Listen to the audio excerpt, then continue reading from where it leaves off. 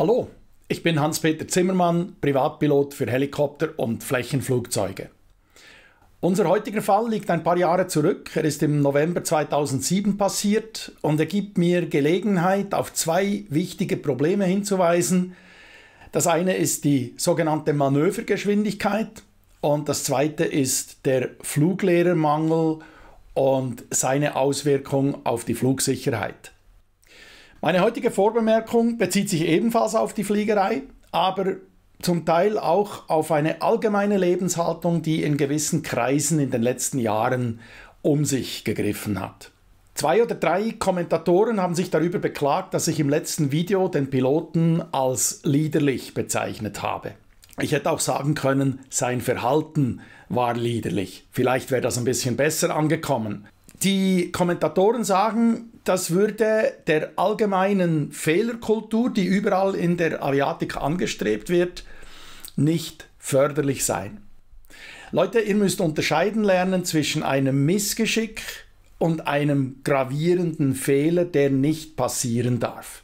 Missgeschicke passieren, das ist richtig. Wenn ich zum Beispiel eine harte Landung hatte, vielleicht wegen einer Windböe, die ich nicht erwartet habe, dann muss ich meinem Flugverein oder meiner Fluggruppe mitteilen können, Leute, ich hatte eine harte Landung, bitte lasst das Flugzeug untersuchen, bevor andere es benutzen. Die Motorfluggruppe Zürich hat im Moment gerade so einen Fall, wo man bei der 200-Stunden-Kontrolle festgestellt hat, das Flugzeug müssen wir abschreiben. Es war vom Rahmen her, es war alles dermaßen verstellt, dass es ein großes Risiko gewesen wäre, mit diesem Flugzeug weiter zu fliegen. Einem Piloten ist offensichtlich ein Missgeschick passiert, aber er hat daraus einen gravierenden Fehler gemacht, weil er es nicht gesagt hat und damit die Piloten, die das Flugzeug nachher gemietet haben, nicht geschützt hat. Ein anderes Beispiel für ein Missgeschick, das man unbedingt mitteilen können sollte, ohne Sanktionen, ist, wenn man zum Beispiel das Flugzeug auftankt und man hat vielleicht irrtümlich das Flugzeug ein bisschen zu nah an der Tankstelle getankt und die haben manchmal so Flügeltüren und jetzt hat eine Windböe so eine Tür an die Cockpithaube äh, gehauen und äh, da ist ein Riss entstanden. Da muss ich meiner Fluggruppe oder dem Technikchef sagen können, du, äh, ist mir ein Fehler passiert oder ein Missgeschick passiert, könnt ihr das bitte kontrollieren, ob das sicherheitsrelevant ist. Und ich würde natürlich sagen, und selbstverständlich komme ich für die Kosten auf. In den letzten beiden Videos kamen zwei Piloten vor, die unverantwortlich gehandelt haben zu tief in ein Seitental hineinfliegen, wenn ein Blick auf die Luftfahrtkarte genügen würde, um zu wissen, wie hoch der Pass ist, über den man will, und wenn ein Blick in die Steigleistungstabelle genügen würde, um zu merken, wie man steigen muss, damit da kein Unfall passiert. Und beim zweiten, sein Flugzeug nicht zu kennen, nicht zu wissen, was die Strömungsabrissgeschwindigkeit ist, die Geschwindigkeit, die man beim Steigen auf keinen Fall unterschreiten darf. Das ist fahrlässig, liederlich, unverantwortlich und nicht einfach ein Missgeschick. Immer wieder höre ich auch das Argument, man müsse Rücksicht nehmen auf die Angehörigen. Ja, erstens mal haben denn die Piloten auch Rücksicht genommen auf die Angehörigen und sollen jetzt die Untersuchungsbehörden, wenn was passiert ist, einfach sagen, ja, es ist da was passiert, aber wir wollen nicht so genau hinschauen, weil hm, es könnte sein, dass der Pilot nicht so gut wegkommt. Ja, wir nehmen Rücksicht auf die Angehörigen. Wenn wir so denken würden, dann würde die Fliegerei immer unsicherer. Und die zweite Bemerkung dazu, diese Leute, diese Angehörigen, die müssen ja nicht haften für die Schuld dieser Piloten, nur weil sie verwandt sind. Und sie möchten übrigens genauso wissen wie wir, was da genau passiert ist. Wenn mein Vater Pilot gewesen wäre und die Schuld am Tod von mehreren Menschen auf sich geladen hätte, dann würde ich ihn doch nicht in Grund und Boden verdammen. Ich würde mir vorstellen, dass ich zu ihm sage, Vati, das, was du getan hast, das lasse ich bei dir. Ich achte dein Schicksal. Du hast immer einen Platz in meinem Herzen als der Mann, der das Leben an mich weitergegeben hat. Du hast vieles richtig gemacht. Bitte betrachtet auch den heutigen Fall unter diesem Gesichtspunkt. Robert William Davy, 29 Jahre alt und Vater von drei Kindern, war extrem beliebt. Einige seiner Kollegen bezeichneten ihn als den besten Piloten, den sie je gekannt hätten. Und gerade deshalb ist das, was er sich am 15. November 2007 geleistet hat, kein Missgeschick, sondern ein absolutes No-Go. Das Flugzeug, eine Piper PA-28R 200, also eine Aero 2, wobei das R für Retractable Gear steht, also Einziehfahrwerk. Die Aero 2 in meinem Flugsimulator hat leider kein Einziehfahrwerk, ich verwende deswegen eine Piper Warrior 3. Der Fluglehrer Robert Davy plante einen Überlandflug von 132 nautischen Meilen Länge, etwa 250 Kilometer. Auf dem linken Sitz ein 19-jähriger italienischer Pilot namens Luca Visani aus Cesena. Nach meinen Recherchen war es sein Ziel, Militärpilot zu werden und er weilte in den USA, um vor allem seine Englischkenntnisse aufzubessern. Auf dem Rücksitz ein zweiter Italiener namens Andrea Venturini, er stammte aus Mantova und wollte in den USA seine Privatpilotenlizenz erwerben. Seine Fluglehrerin hatte ihm empfohlen, auf diesem Cross-Country-Flug mitzufliegen, vor allem um den Funkverkehr mitzuhören und etwas mehr Routine im Beherrschen der Voice zu bekommen. Um 13.48 Uhr hob die Piper mit der Immatrikulation November 55307 vom Flughafen Arlington, Texas ab.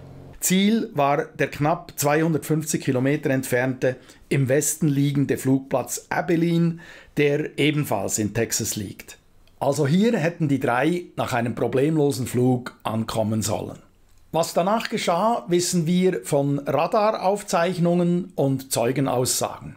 Es kam zu fünf Manövern, bei der immer wieder die sogenannte Maneuvering Speed, also die Manövergeschwindigkeit, überschritten wurde. Für die Laien folgt hier die Erklärung. Das hier ist ein typischer Airspeed Indicator, also ein Geschwindigkeitsmesser.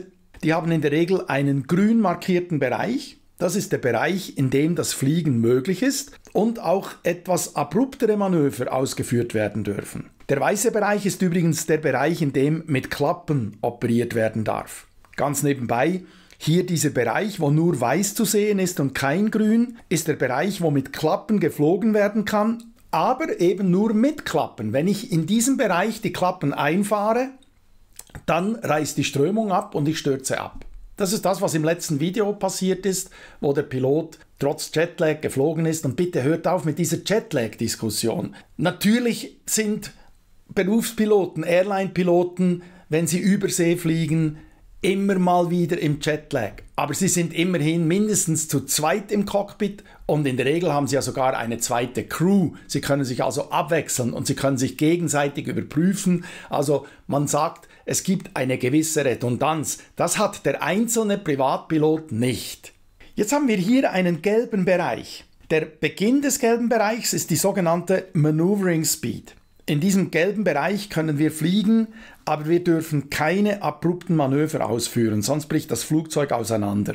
Bei starken Windböen zum Beispiel sollten wir niemals in diesem gelben Bereich fliegen. Hier, diese rote Markierung ist dann die sogenannte VNE, Never Exceed Airspeed. Wenn wir die überschreiten, kommt es auch ohne abrupte Manöver zum In-Flight Breakup. Das ist die Radaraufzeichnung der fünf Manöver, die der Fluglehrer durchgeführt hat. Beim letzten Manöver stieg er auf 11.800 Fuß und senkte dann die Nase, um auf 134 Knoten zu beschleunigen. Die Manövergeschwindigkeit der RO2 liegt aber gemäß Bericht bei 116 Knoten. Bei diesem schönen Wetter und dem harmlosen Wind wäre das Fliegen in diesem Geschwindigkeitsbereich immer noch okay. Das Problem entsteht nur, wenn man diesen Sinkflug jetzt mit einem starken Zug am Yoke unterbricht. Und genau das ist passiert. Teile des Flugzeugs brachen ab und die Piper stürzte in der Nähe des Flugfeldes Ranger, Texas ab. Wie konnte es so weit kommen, dass dieser beliebte Pilot, der von vielen als der beste Pilot aller Zeiten bezeichnet wurde, sich so verantwortungslos verhielt? Robert Davy erwarb seine Privatpilotenlizenz am 22. Januar 2004 mit 56 Flugstunden. Sein nächster Flug fand erst drei Jahre später statt, am 28. Februar 2007. Bereits im Juli 2007 bekam er das Zertifikat für mehrmotorige Flugzeuge und Instrumentenflug. Nur zwei Tage später wurde er Fluglehrer auf diesen Kategorien. In den letzten 90 Tagen vor dem Unfall war er 307 Stunden geflogen, in den letzten 30 Tagen 60 Stunden. Man kann also in diesem Fall ganz sicher nicht von mangelnder Erfahrung sprechen. Aber es gibt ein anderes Problem bei dieser Express-Ausbildung. Viele Privatpiloten streben ja eine Karriere als Airline-Pilot an und müssen dafür Stunden sammeln. Und das Einfachste ist, wenn man das als Fluglehrer tut. Da kostet das Fliegen nichts, im Gegenteil, es gibt sogar noch Geld dafür. Wenn man das aber tut, dann sollte man in der Zeit, wo man Fluglehrer ist, das wirklich auch gerne tun und zu 100% und mit Herzblut. Wenn man diesen Job nur macht, weil man muss, dann wird einem wahrscheinlich schnell langweilig und dann wird man plötzlich nachlässig. So geschehen bei unserem Unfallpiloten. Er war bekannt dafür, dass er mit nicht akrofähigen Maschinen der Flugschule Akromanöver durchführte. Eine Fluglehrerkollegin von Robert Davy sagte aus, sie sei oft mit ihm geflogen und habe sich immer sehr sicher gefühlt. Er habe ihr aber erzählt, dass er öfter seinen Flugschülern das Trudeln demonstrieren würde. Sie fand das nicht so gut. Sie sagte, das sei für den Privatpiloten ja nicht erforderlich und im Übrigen seien viele ihrer Schulflugzeuge gar nicht zugelassen für Trudeln. Ihren Flugschüler Andrea Venturini schickte sie trotzdem mit auf diesen Trip. Sie sagte aber zu Robert, zum Fluglehrer, er soll dann bitte keinen funny stuff, frei übersetzt keinen Blödsinn machen, wenn ihr Flugschüler an Bord sei, weil sie sich Sorgen machte, dass er sich da schlechte Gewohnheiten antrainiere. Ihr war auch zu Ohren gekommen, dass Robert Davy mit einem nicht akrofähigen Flugzeug eine sogenannte Fassrolle vollführt habe. Ein anderer Fluglehrer gab zu Protokoll, Robert Davy sei der beste Pilot gewesen, mit dem er je geflogen sei. Gleichzeitig gab er zu Protokoll, dass Robert ihm erzählt habe, er habe eine gerissene Rolle vollführt, wie gesagt, immer mit den Schulflugzeugen, die nicht für Kunstflug zugelassen waren. Er habe ihm gesagt, dass er das nicht gut finde und er sei davon ausgegangen, dass er damit aufgehört habe. Andrea Venturini, der bei diesem Unglücksflug auf dem Rücksitz saß, hatte am 7. November nicht ohne Stolz eine E-Mail an Freunde in Italien geschickt, mit unter anderem folgendem Wortlaut Gestern flog ich als Passagier mit einem größenwahnsinnigen Fluglehrer. Er übernahm das Steuer und machte ohne Vorwarnung zwei Spins. Ich wäre fast aus meinem Sitz geflogen, denn ich hatte die Gurte nicht festgezurrt. Niemand hatte vorher darüber gesprochen, dass wir Kunstflug machen, aber es hat einen riesen Spaß gemacht. Eine Woche später war der Spaß vorbei.